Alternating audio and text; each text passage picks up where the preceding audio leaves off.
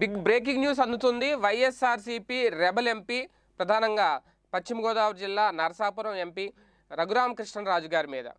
పన్నెండు కేసులు నమోదయ్యాయి అనేది స్వయంగా ఆయనే చెప్పిన పరిస్థితి అయితే ఇక్కడ చాలా స్పష్టంగా కనిపిస్తోంది. అయితే ప్రధానంగా రఘురామకృష్ణరాజు గారు చెప్పిన దాంట్లో అన్ని కేసులు కూడా దాదాపు పన్నెండు కేసులకు సంబంధించిన కాపీలు మాత్రమే ఆయన కందాయి కానీ ఒక ముప్పై నలభయో కేసులు పెట్టుంటారు నా మీద.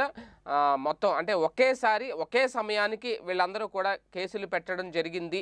ఆ, కాపీలు కూడా చూసుకుంటే సాయంత్రం ఆరు గంటల నుంచి ఆరు ముప్పై మధ్యలో కేసులు పెట్టారు స్థానిక మంత్రి అలాగే హోంమంత్రి ఇంకా స్థానిక నేతలు వీళ్ళందరూ కలిసి పెట్టారు. అయితే అందరూ పెట్టిన కేసులు పెట్టిన వెనక కారణం కూడా ఒకటే చెప్తున్నారు. దళిత క్రైస్తవులకు దళిత హిందువులకు మధ్య చిచ్చు పెట్టే విధంగా ఆయన ప్రవర్తించారు. ఈ నేపథ్యంలో ఆయన మీద కేసులు నమోదు చేశాము అని. కొన్ని ఐపీసీ సెక్షన్ల కింద కేసులు కూడా నమోదు చేశారంట. ఎఫ్ఐఆర్ కూడా కట్టడం జరిగింది. అయితే స్థానికంగా భీమవరానికి చెందిన ఒక ఎస్ఐ మీద కూడా రఘురామకృష్ణరాజు గారు ఆరోపణలు చేశారు. కాస్త- కాస్తంత ఆయన అత్యుత్సాహం ప్రదర్శించారు అనేది. మొత్తానికి ఇప్పుడు ఎవరి ప్రోద్బలంతో ఈ కేసులు పెట్టారు ఏంటి అనేది తెలియకపోయినా ఖచ్చితంగా దాని వెనక ఎవరున్నారో అందరికీ తెలుసు అంటూ ఆయన కాస్తంత వ్యంగ్యాస్త్రాలు కూడా సంధించడం జరిగింది. మొత్తానికి ఇప్పుడు పన్నెండు కేసులు నమోదు చేశారు.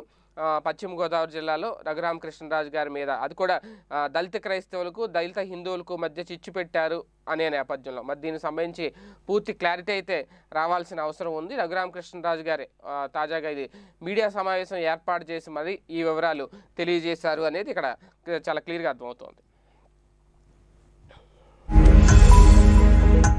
వీడియో గనుక మీకు నచ్చినట్లయితే లైక్ చేయండి షేర్ చేయండి.